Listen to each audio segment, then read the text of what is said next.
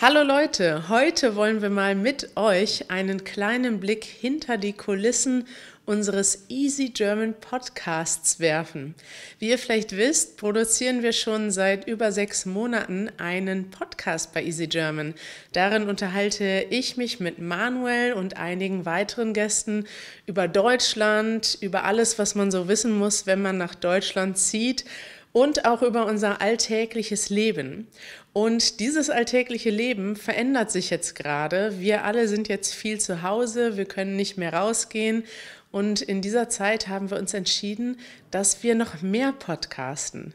Ähm, es gibt immer noch jede Woche unseren regulären Podcast, der kommt am Dienstag heraus und da gibt es auch ein Transkript und eine Vokabelhilfe für unsere Mitglieder, damit man live mitlesen kann und die Vokabeln auch übersetzen kann. Und zusätzlich nehmen wir jetzt seit letzter Woche auch ein tägliches Format auf und das nennen wir das Zwischending. Und in diesem täglichen Format, da sprechen wir eben darüber, was gerade in unserem Leben passiert und wie sich die Welt um uns herum verändert. Und das möchten wir heute mal zeigen. Denn normalerweise hört ihr uns nur, ihr seht uns nicht. Und wir dachten, heute ist mal eine gute Gelegenheit, um ja euch erstens davon zu erzählen, dass es jetzt mehr Podcasts gibt im Moment bei Easy German und euch mal zu zeigen, wie das aussieht. Los geht's!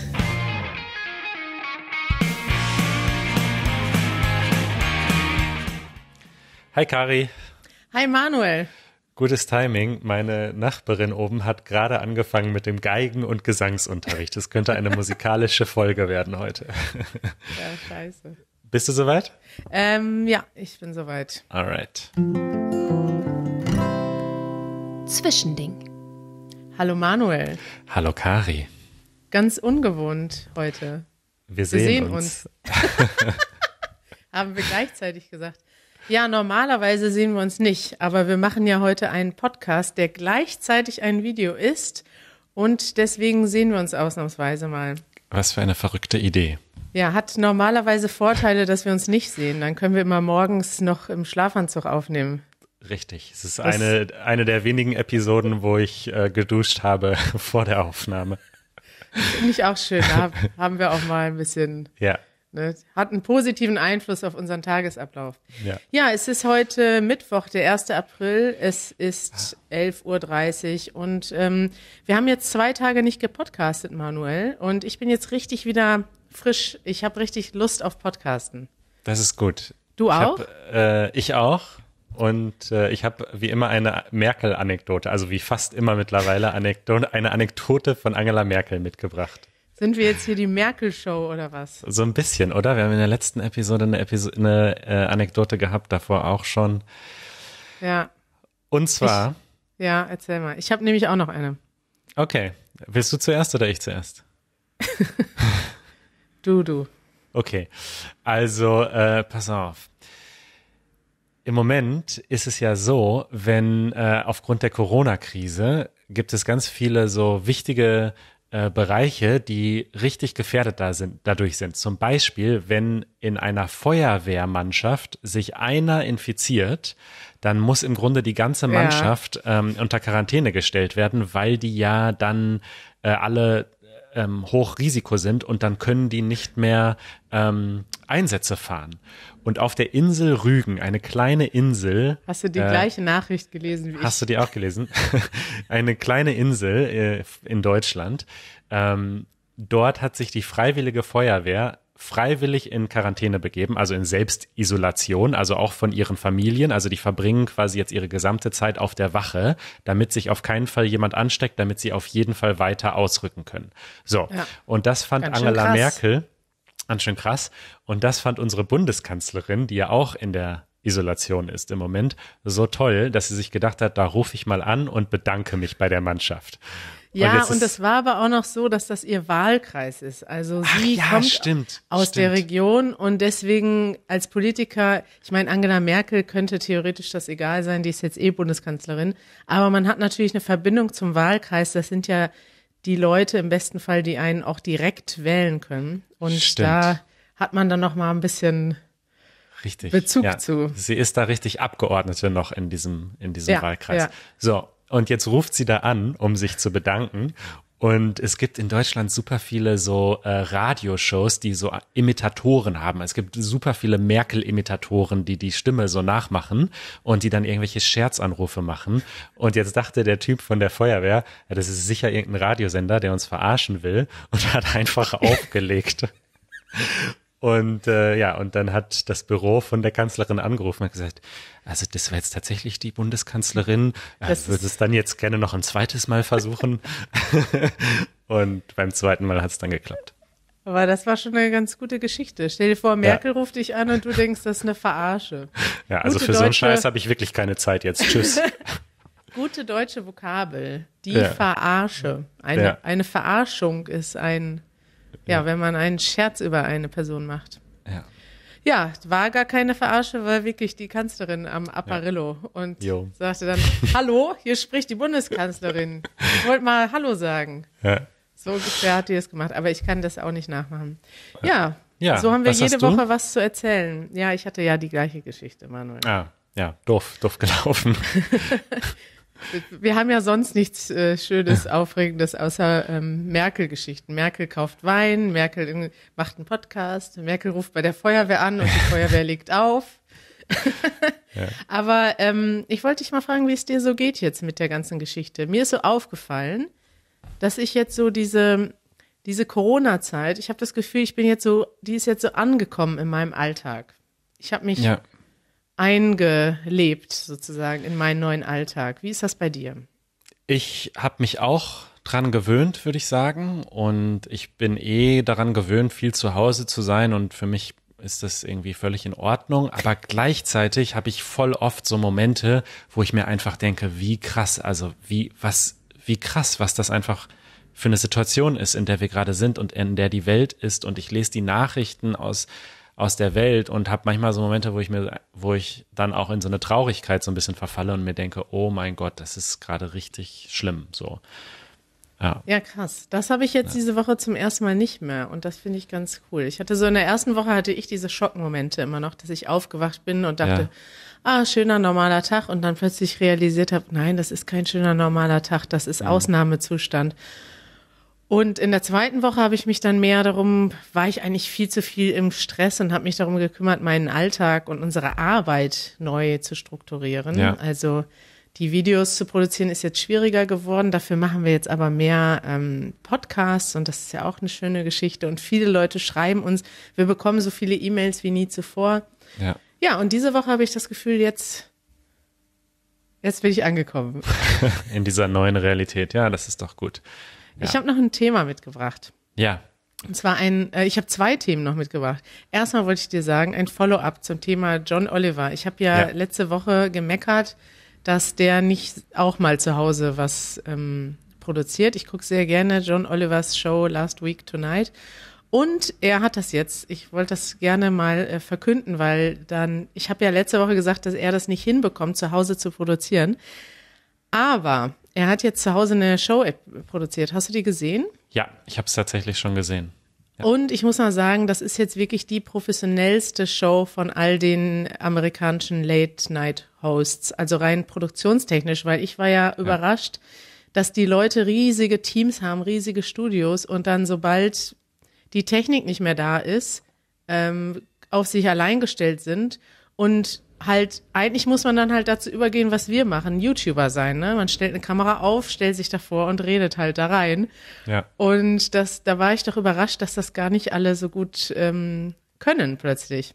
Oder halt eben, ja, dann Stephen Colbert sitzt dann da mit seinem Handy, mit seinem iPhone und redet in seine AirPods und die Quali ist einfach super schlecht.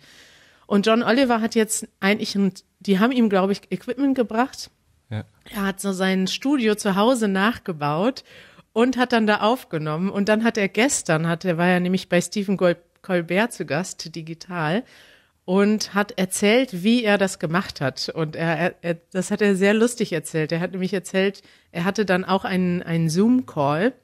Und in dem Call haben ihm dann seine Mitarbeiter genau erklärt, wie er diese, dieses Equipment an, an, aufbaut und benutzt. Und er meinte, er wäre so überfordert gewesen, hätte sich gefühlt wie so ein Flugzeugpilot, Also wie jemand, der noch nie ein Flugzeug geflogen hat, der jetzt gerade navigiert wird, wie er den Flug, das Flugzeug landen muss. Das Ja. sehr witziger äh, Ausschnitt. Ich habe den mal hier. Ich, wir verlinken den mal in den Show Notes.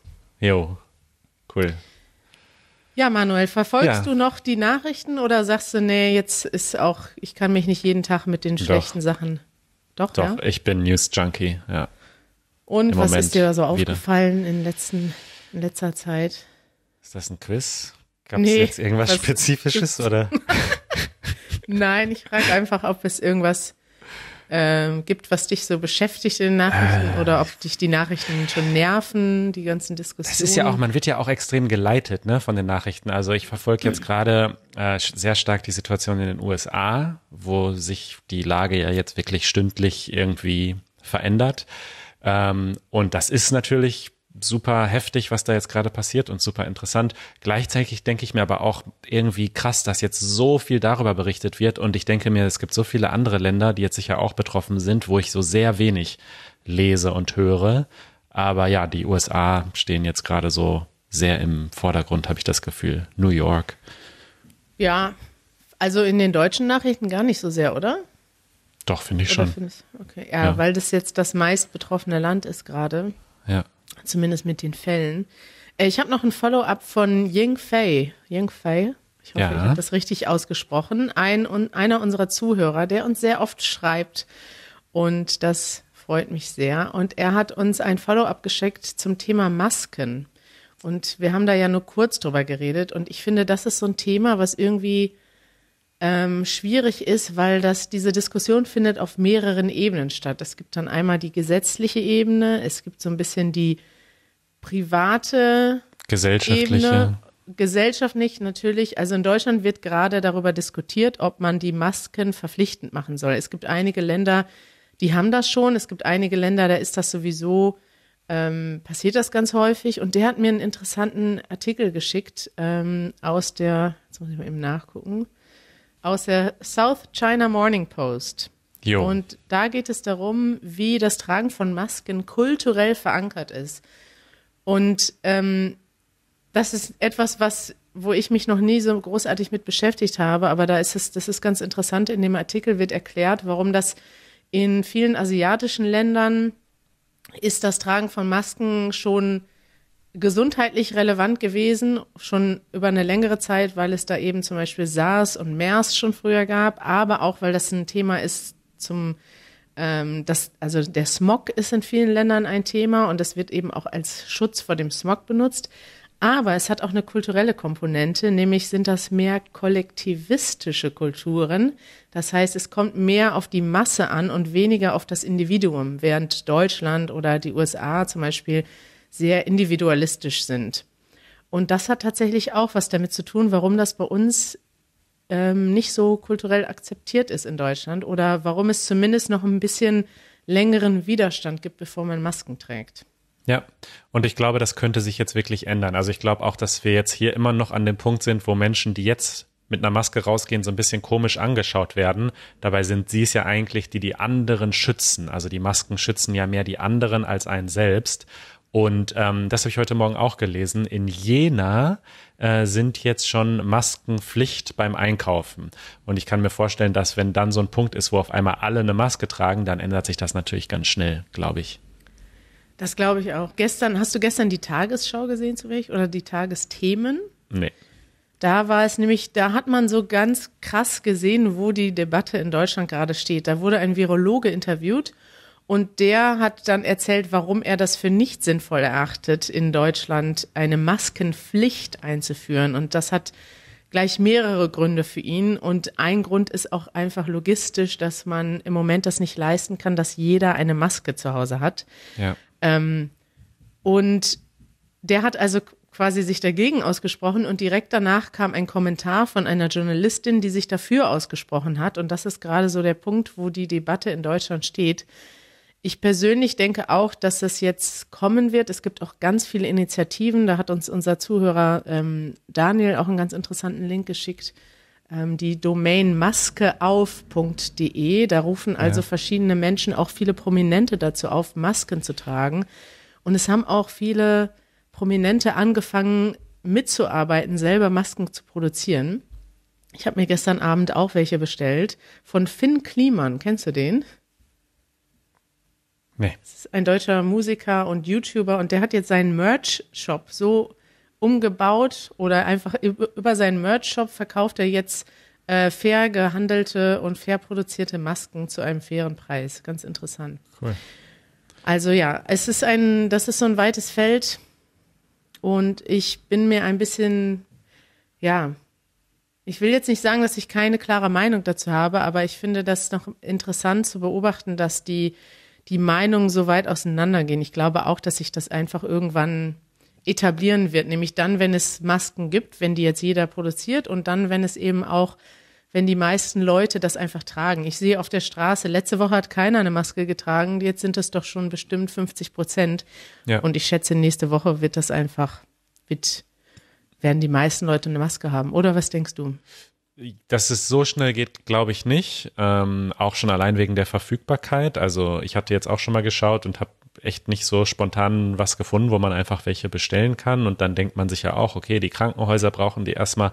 Aber wenn die Verfügbarkeit da ist, ich glaube schon auch, dass dann Wandel stattfinden wird. Ich glaube aber, dass es ein bisschen länger dauern wird als eine Woche vielleicht. Aber schauen wir mal. Gut, Kari. Ja. Manuel, hat mich gefreut, mit dir zu quatschen. Und Mich äh, auch. Ihr, liebe Zuhörer und Zuschauer, könnt uns auch jeden Tag zuhören. Nämlich wo, Manuel? auf easygerman.fm und dort findet man alle Links zu den Apps, wo man uns abonnieren kann, auch wie das funktioniert mit der Vokabelhilfe und so weiter und so fort, kann man dort alles nachlesen. Dann hören wir uns morgen wieder, ja? Das tun wir. Ciao, ciao. Bis dann, Kari. Ciao.